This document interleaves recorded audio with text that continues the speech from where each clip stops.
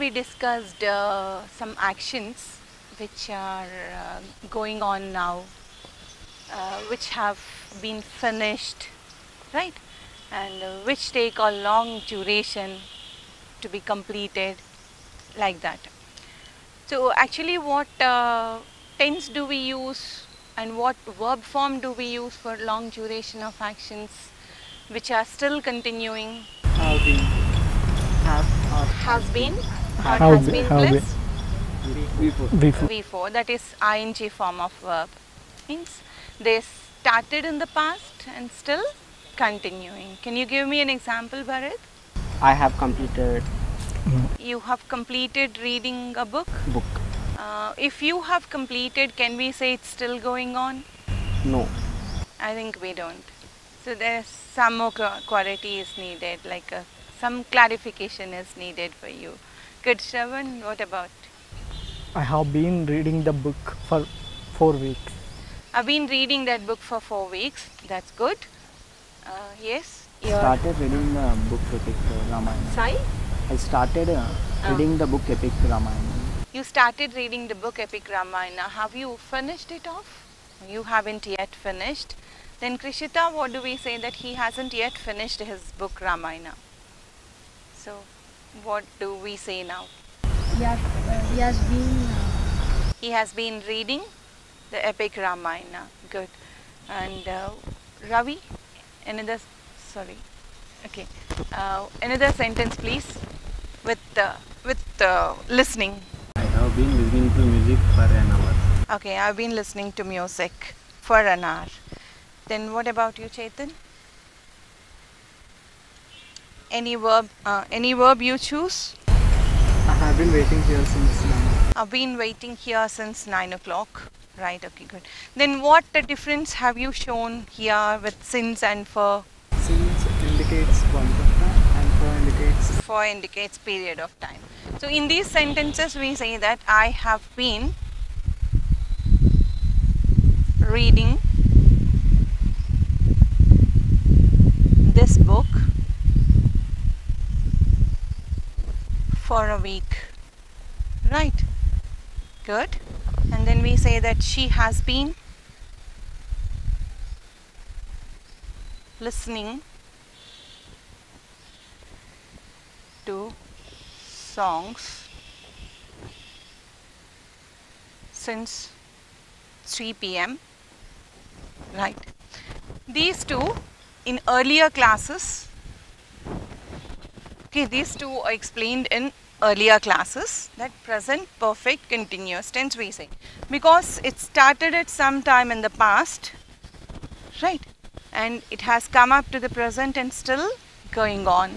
So it's not stopped here. As you said, Bharat, I have, right, I have completed. These here we have to stop. This we call as only because it is a present time. We call it as only present perfect tense, right? But this is present perfect continuous tense, right? Then we have to extend it with a continuous action. Now the same thing when we learn in the past or future the intention of the action can be explained in the similar grounds but the time varies as we discuss the past right today we go with this past perfect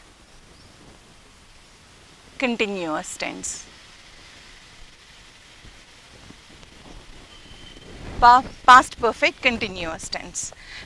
Usually in present perfect continuous tense our communication is more. Because whatever we started in the past yesterday or a week ago or a few years ago or in your childhood too. Supposing you have inculcated a hobby. That hobby you continue for a long time so what's your hobby sai reading books. reading books. So you have been continuing, you have been reading books now also, and since your childhood, right? You read them in the past, you are reading them now, and you will be reading in the future also. So it's a long duration of action. Supposing the same thing happened in the past for a long time, but before we enter the present, it's over. Right? Before we enter the present itself, it's completed. That means before a certain pastime, it took place for a long time. For example, let me just take the example of mine. Right? I worked in an institution before I joined VIL and I worked there for almost 10 years. So is 10 years a long duration? Yes. yes. But am I working there now? No. So I have changed my institution. So before joining Ramakrishna Math, so before I joined Ramakrishna Math, right, I worked in, so I had worked in a in an organization before I joined Ramakrishna Math. That we call, which tense is that? I had worked in a degree college before I came here. Right. So this is had plus V3 and this is V2. So past perfect. But that past perfect only, we are just telling it's not completed, it was not over by then. Before it was over, it took a long time to be finished. That's what we call as past perfect continuous. So here all the three points we can say only in the past. So here past and here past. Nothing is related to present. Right. So I joined in one organization for example in 1990. So for 2001 till 2001 I worked in that organization. Right and then I joined in another organization and still am continuing in that. So in this case if it is past perfect tense only these two we discuss only these two. So this is simple past and this is past perfect we say. So together now it is present right when it is present and this past is over when it is present now I want to say the total one under one one category it is I had been working right in a degree college for right 1990 to 2001 so approximately 10 to 11. 12, 12. no, hmm. okay. for 12 years before or by the time I left that institution. Right.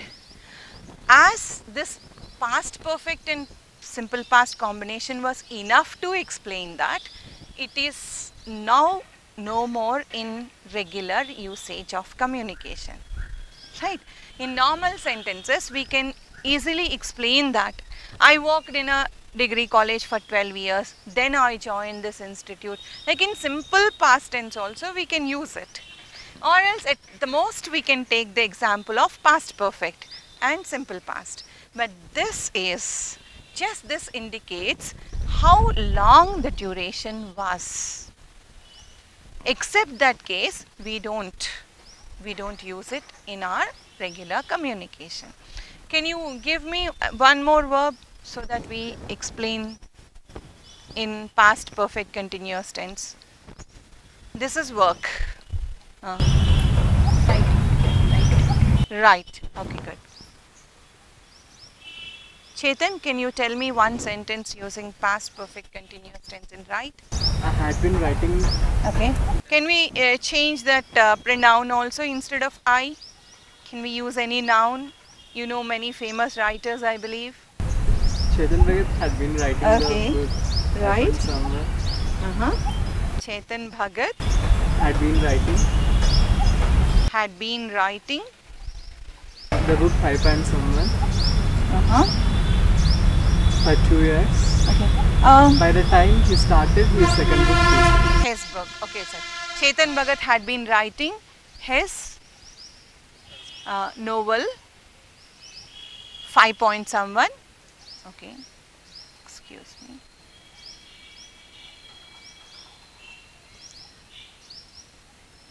Someone before. Okay, for two years. Before he started his another novel. Can we also uh, also say that what Young India wants is different from all his commercial novels. Novels. Before he wrote what Young India want, he he just had been writing only the commercial novels. Though there was some element in that, but basically we say that it's a commercial novel, right? Okay, good. Any more? Right is over. So you observe that had been writing before he started. So we take up the support of simple past only to explain either past perfect or past perfect continuous tense. So had plus V3 form of being and writing. So we say had.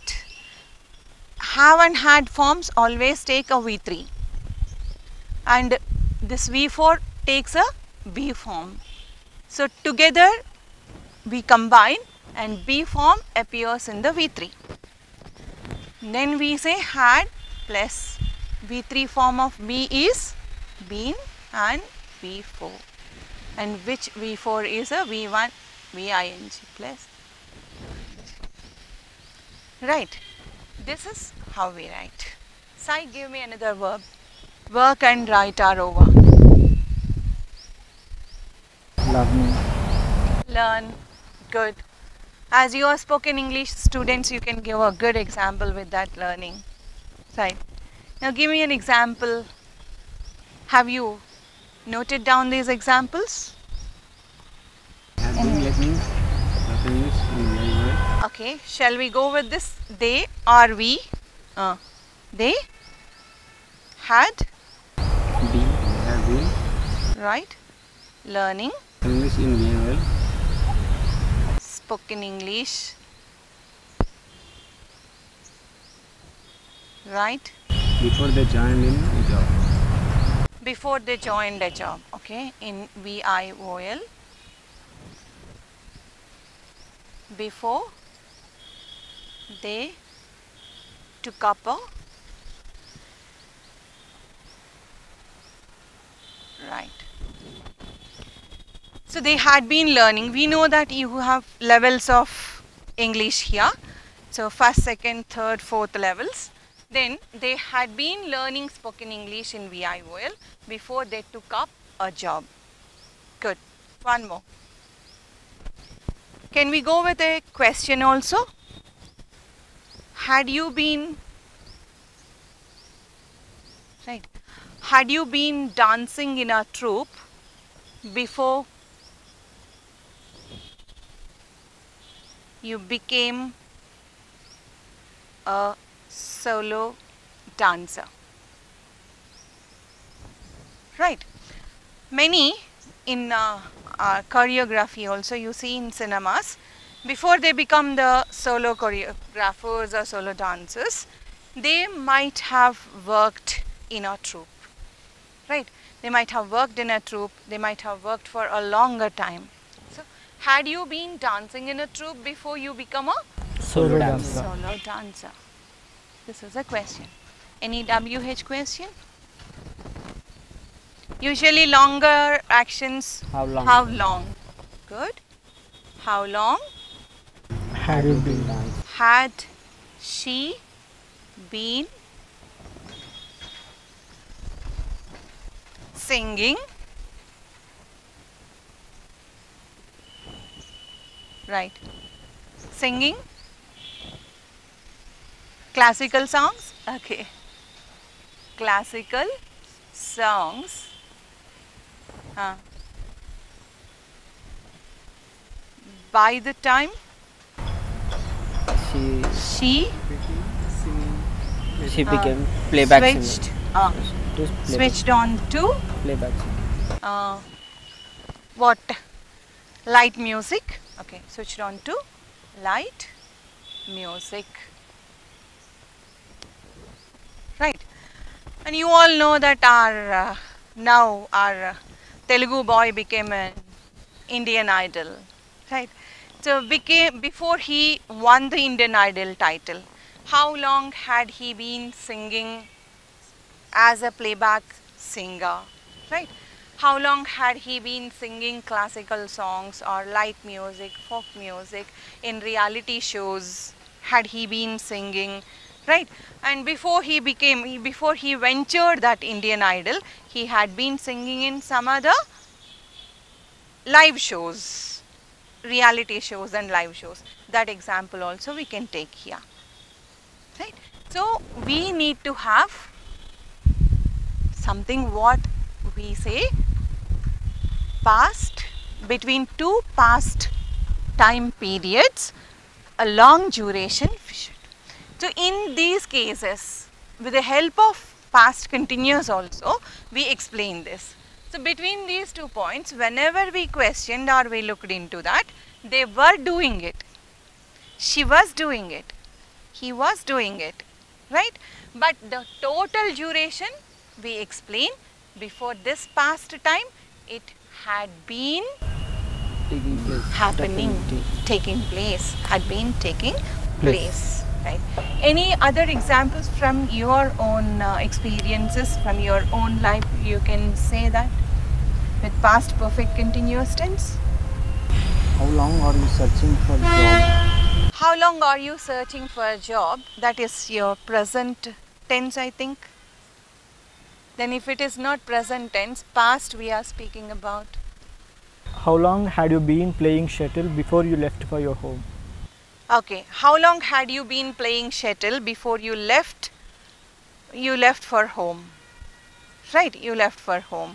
That means now you are on your way to right, to your house, to your house. Then when you are on your way to your house, uh, somebody was questioning you how long had you been playing shuttle? Because we know that your schedule that you play shuttle at that time and now it's time that you have winded off your shuttle. Right play. Good. Next. And when we compare uh, make a comparison here krishita she has been composing right? Okay or else. She has been making soft toys for a few years. Right. She had been making soft toys. Right. By the time she started her workshop okay she will have been training a few women in making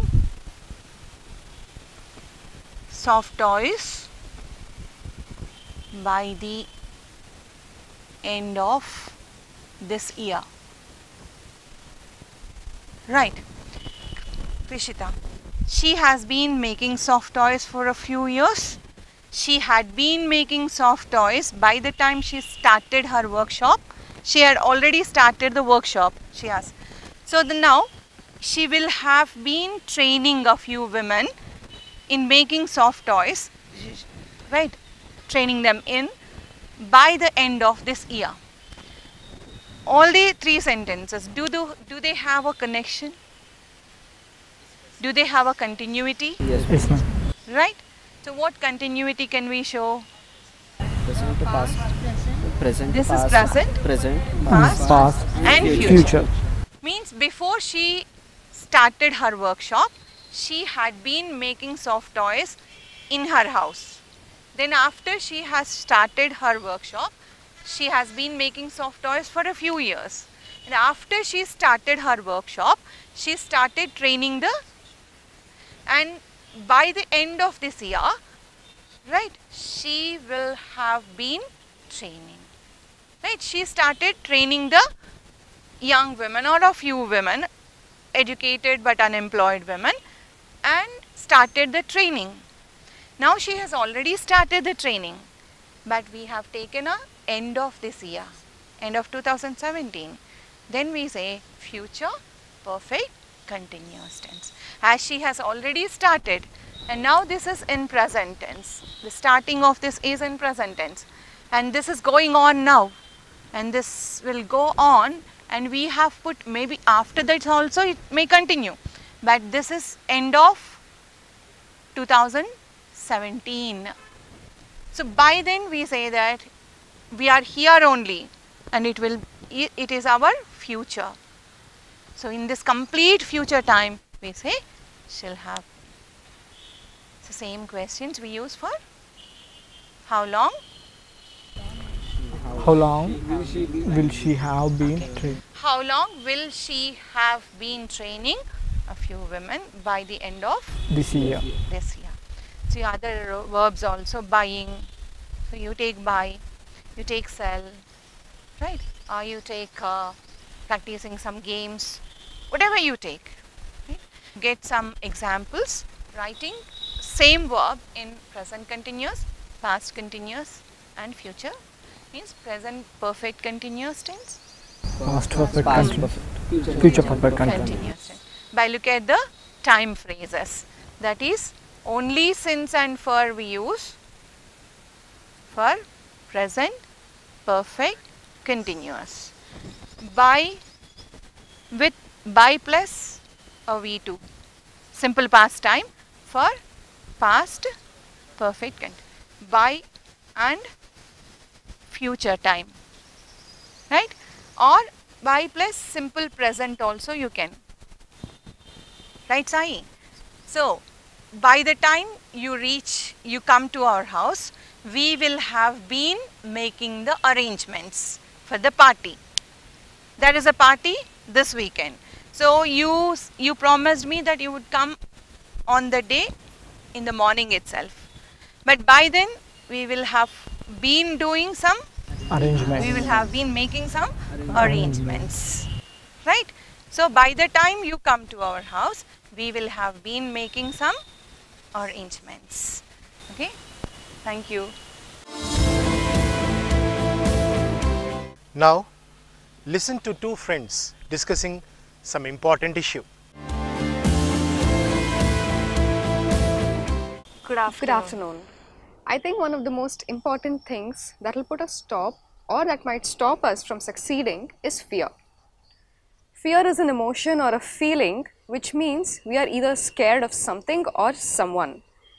Fear is an emotion that we all experience at every point in our life. As children, we are scared of monsters. As teenagers, we have the fear of what the others have an opinion on us. As young adults and adults, we have a fear of failure. As in, we have job interviews coming up, we have exam results, we don't know the results of the exam, we don't know the results of our job interview, whether we'll be able to succeed or not.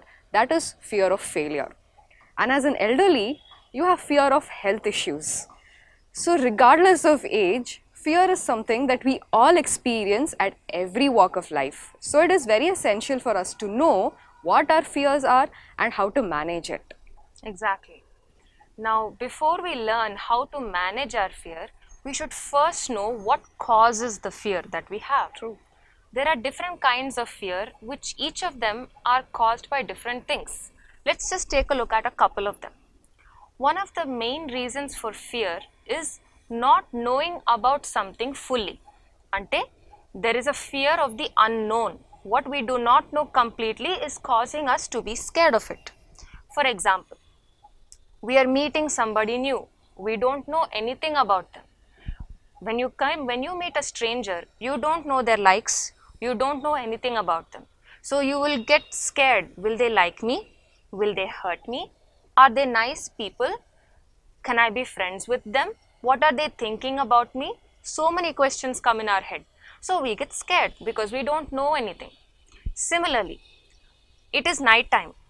Office or your classes are all finished and you're coming back home. Now, if you're walking down the road and you hear the temple bell ringing, you know the sound of a temple bell, you recognize it, so you don't get scared. Exactly. But suppose you hear some new sound which you don't know, before even thinking what is the sound, first you will get scared because you have not experienced, you have never heard that sound. It is very new to you. So, there is a fear of the unknown. Exactly. There is another kind of fear which is called phobia. Phobia is not just a simple fear, it is a very strong, severe amount of fear and scaredness that we have for something. ఎంత అంటే అసలు మనకి ఊపిరి రాదు we can't breath properly we become Digi in certain situations. True, true. For example, some people have a fear of heights. If they're standing on the terrace of their home and they look onto the ground floor, the height is so scary for them that they become dizzy, they can't breathe properly. So fear of heights is called vertigo. Okay. Similarly, some people have a fear of darkness. Chikati ante, they get so disturbed, they cannot go into darkness at all. That is called nyctophobia. Nyctophobia. Nyctophobia. Phobia is a severe scareness, severe fear. Nycto represents darkness. So, nyctophobia. Similarly, some people are terribly disturbed when they see a spider. Spider దగ్గరికి రాగానే అసలు ఆ చోట్లో ఉండలేరు ఊపిరి రాదు లోపల నుంచి ఏదో డిస్టర్బెన్స్ వచ్చి అక్కడ నుంచి వెళ్ళిపోవాల్సిందే so people who have an excessive fear of spiders they are said to have arachnophobia Oh. So this is one kind of fear. Now the third reason that we feel fear is because of anxiety. Ante we worry too much. Now as you rightfully said some time ago, when we have exams or we go for job interviews, we don't know what the result will be. And we end up worrying, pass out, outana, will I get the job? You don't know what to do. So that kind of worrying, that kind of anxiety also causes fear. That is among everybody, I think. I think so too. Now, the best way to manage fear is to face it. How do you face it? The moment you get scared or you're afraid of something, first face the fear and then question what am I afraid of and why am I afraid of it? Accept something that is coming to you in the first place. Why are you scared? Because you don't know something. You're new to it. So accept it accept the unknown and then learn about it learn thoroughly about it and then you're confident of it and there is nothing left unknown you know it so it will be a new experience for you then there is nothing to be afraid of all you have to do is be open minded and you need to accept that you don't know you learn and then you move on the next will be fear of anxiety as in constantly worrying or getting stressed or getting scared a lot. Why are you scared? Why are you worried? The first thing that you need to think is stop and think. What am I doing? What can I do about it? Can I do something by worrying? Now you have exam results, you have interview results. What can you do by worrying? Can I change the results by worrying too much? Can I change the results by getting scared? No, you can't. The answer is no. So, all you have to do is stop and take a deep breath. Be patient. Just accept the results however they come. Now, if you are happy with the results, good. If you are not happy with the results, see where what went wrong, what were your mistakes, and then learn. Learn from your mistakes, then overcome them. So, next time you will not repeat it so that there will be nothing to be afraid or anxious or stressed about. I agree. We've seen all the kinds, some of the kinds of fear, what causes them, and we've seen some good ways to tackle and manage the fear. True. So, next time you get scared of something, instead of panicking, stop and think what is causing the fear and try to find the best way to handle it and make sure that your fear never stops you from achieving anything in life. Let us listen to a story. perspectives. Perspectives are the views which we have in our mind, and different people have different views, opinions on different things. So one day, a father and his rich family took his young son on a trip to the country with the firm purpose of showing him how poor people can be. So the father wanted his son because he his son was born in a rich family.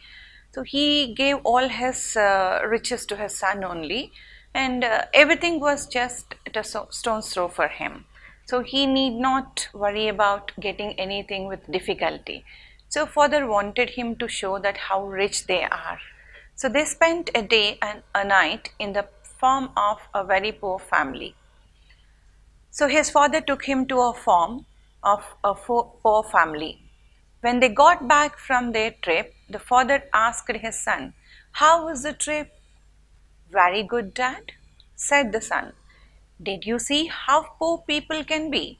The father asked. Yeah, the boy replied. And what did you learn? The son answered, I saw that we have a dog at home and they have four. We have a pool that reaches to the middle of the garden. They have a creek that has no end. We have imported lamps in the garden and they have the stars. Our last patio reaches to the front yard, but they have a whole horizon. When the father heard what the boy said, he was speechless. Actually, the father, what he expected was different. The father expected that son would thank him for showing how poor the other people were. But the son's perspective was different. He thought he thought the real joy is in freedom, not in the rich richness or wealth. So he said that he, he was just comparing the condition of those poor family with theirs. He thought they had, though it was a very expensive dog, a rare breed of the dog, but he thought they had only one. But the, oth- the others, though they were street dogs, but he thought that they had four. And he said they had an artificial pole which was built in their house that which has its limitations. But uh, in, in compared to their position, he said the poor family had a natural creek. Creek is like a small river or a stream, which usually comes from a sea or a, river too. So they had a natural creek which has no end at all. We have imported lamps in the garden. Their imported lamps were very bright and they illuminate the garden very well. But they were very unnatural to the boy because uh, in front of the stars, the imported lamps, though expensive they were, but they were useless. So he said they have stars. Our last patio reaches the front yard. Patio is an open place which usually people use to relax and refresh, uh, to dine there also sometimes. So that patio reaches to the front yard only, but they have a whole horizon. Means their patio is endless. When the father heard what the boy said, he was speechless. His son added, Thanks, Dad, for showing me how poor we are. This is the final bolt to the, to the father. Isn't it true that it all depends on the way you look at things? If you have love, friends, family, health, good humor, and a positive attitude towards life, you have got everything. Especially the last one positive attitude. To find the brighter side of the coin only every time. You know that there are two sides of a coin. That means sufferings, difficulties, and all on other side. But if you look at them, you feel very, you feel very negative at heart. You become a pessimist. But if you see the positive side of anything, then you are called as an optimist who always believes in positive things only. You have got everything then. You can't buy any of these things. You can have all the material possessions you can imagine, provisions for the future, etc. But you are poor of spirit, you have nothing. You have everything. Your house is filled with uh, lots of wealth, and you have imported things in your house. You have lots of money with you to spend in. But despite this, if you are low in your spirits, you can't be happy forever. So, this is what we can speak about perspectives. So, if a person sees a glass with half water, if he says the glass is half full, he is an optimist. If he says the glass is half empty, so he is a pessimist. So, an optimist always sees the brighter side of the things, and a pessimist always sees the darker side of the things. So, thank you.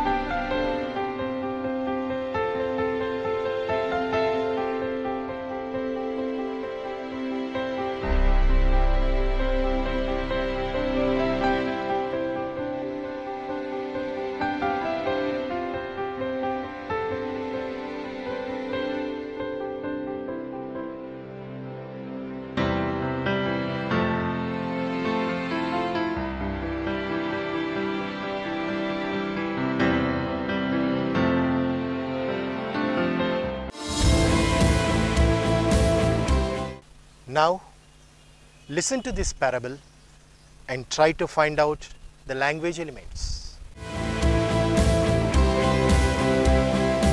Hello everyone, good day to you all. Welcome to another segment of English for All. And now, like you all know, it is time for us to listen to some interesting parables. Parables are nothing but moral stories. I'm sure Mansi has one to share with all of us so that we can listen to that and make use of that moral in our day to day life. Sure, I do. So, this story is actually a fictional one. So, once upon a time, in a faraway kingdom, there was a king. And this king, of course, he was loved by his subjects and his people very much. He had three sons. Now, this king was growing old, and one day he fell very sick. And so the old king thought, I may not be here forever, and I, it is necessary for me to have a successor, which means someone after me to be king. But he was not sure which of his three sons to make as the next king because he loved them equally. So he thought he will make a small challenge and whoever wins in that will become the king. So one day he called his sons and he gave each of them a seed and he told them, I want you to plant this seed in a pot, nurture it, take care of it. And at the end of a couple of months, whoever has the biggest, most beautiful plant will be the next king of this kingdom. The sons were very much accepting of the challenge. They took the seeds and each of them planted it in a pot and started taking care of it. Two of the sons were successful. They planted the seed and eventually there was a plant that came out of it. They took care of it and the plant grew big. Whereas for the third son, no matter how much effort he put, no matter how much care he took, even though he put that seed in a pot, watered the pot every day, kept it in sunlight, there was no plant that was growing from the seed. So the third son did not know what to do, but he did not want to cheat, so he just left it as it is. So after two, three months, the father called the three sons and asked them to show him the plants that they had grown. Each of them brought their pots, and the first two sons showed their father and said, Look, father, the seeds you gave us turned into beautiful plants. Whereas the father looked at the third son's pot, which was barren, it was plantless. He looked at him and said, Where is your plant, son? And the third son replied by saying, Father, I am really sorry, but I was not able to grow any plant from the seed that you had given me. I really took care of it, but nothing came out of the seed. I'm sorry. So the father smiled and said, The reason I'm asking you to not be sorry is because the seeds that I gave to you and your brothers are dead and useless. There is no chance of a plant to grow from those seeds. The seeds are of no use. So naturally you will not get a plant if you plant the seed and take care of it because the seed is dead.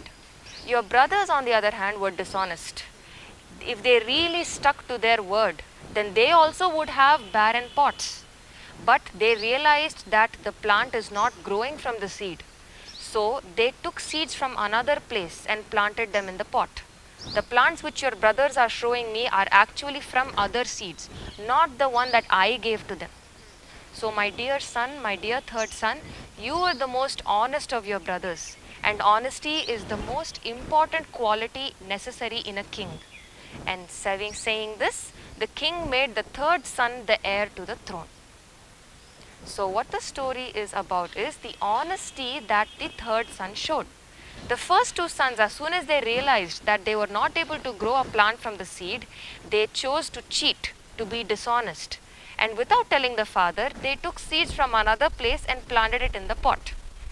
Whereas because both of them wanted to become yes, because both heir. of them they wanted, to to be in the line to be the heir. The Yes, next. they wanted to become the king.